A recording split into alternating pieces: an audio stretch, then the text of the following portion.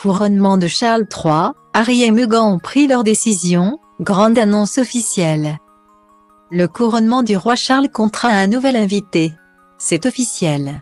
Après des semaines de suspense, de spéculation et de mystère, le prince Harry, fils de Charles et Diana, vient de confirmer qu'il serait présent pour le couronnement de son père le 6 mai prochain.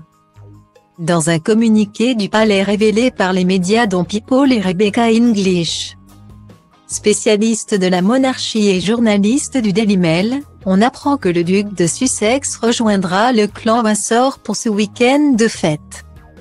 Le palais de Buckingham est heureux de confirmer la présence du duc de Sussex à la messe du couronnement attendue à l'abbaye de Westminster le 6 mai lit-on dans les mots dévoilés par le service de presse de la famille royale.